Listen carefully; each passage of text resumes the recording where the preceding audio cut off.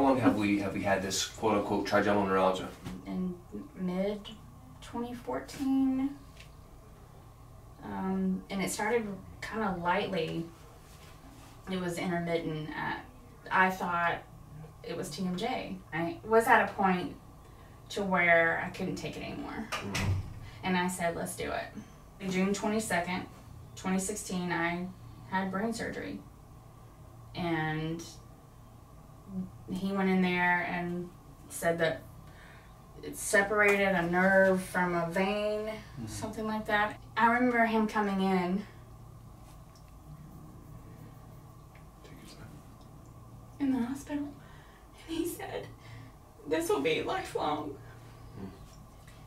And then it started coming back mm. later that year.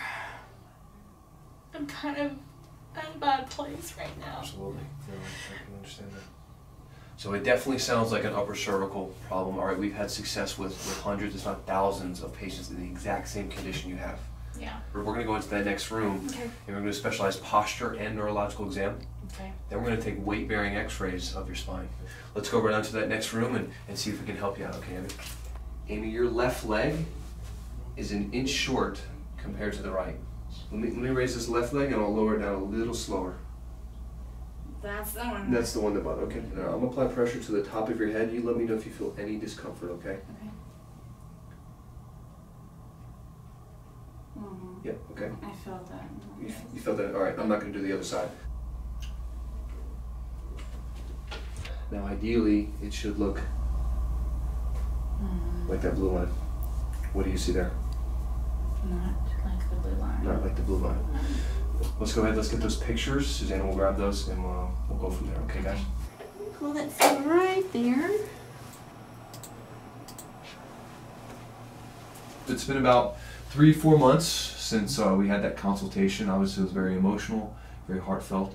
Through this, I've noticed the pain has started to get less and less and less, and my nails have thin, like gotten stronger and straightened out. My hair's gotten thicker. The TN pain is now almost non-existent. Wow. And the back pain has gotten a whole lot better.